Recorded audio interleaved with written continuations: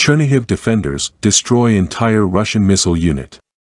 Defenders of Chernihiv, a regional center north of Kyiv, have destroyed an enemy unit that had been shelling the besieged city. On the outskirts of the city, our guys destroyed Orks units, the ones that had been firing missiles on Chernihiv, the statement reads.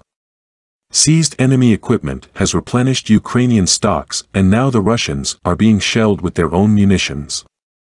According to the city defenders, over the past day, a significant number of armored hardware and other enemy vehicles was seized or destroyed across the region. Part of the Russian horde was destroyed, while some surrendered. As Ukrinform reported, today Ukrainian defenders shot down a Russian Su-34 bomber from the skies over Chernihiv region.